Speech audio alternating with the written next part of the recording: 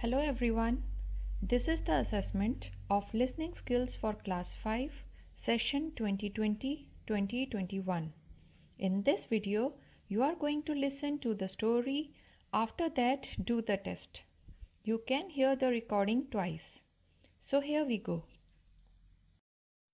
The name of the story is Help Yourself.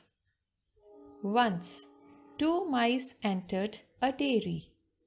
As they were looking for something to eat, they slipped and fell into a large drum full of milk. They did not know how to swim. Soon they started drowning.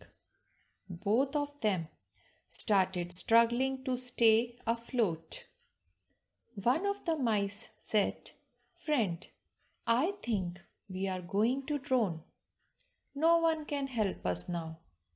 I wish God would send someone to help us. The other mouse calmly said, Do not be afraid, my friend. We must not lose heart. We must keep trying.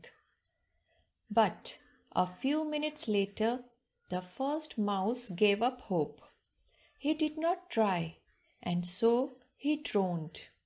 The other mouse saw his friend drowning in the milk and felt very sorry.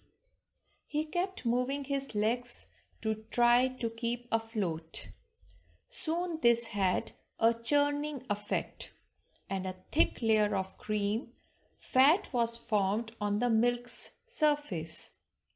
With great effort, the mouse climbed the creamy layer and jumped out to safety.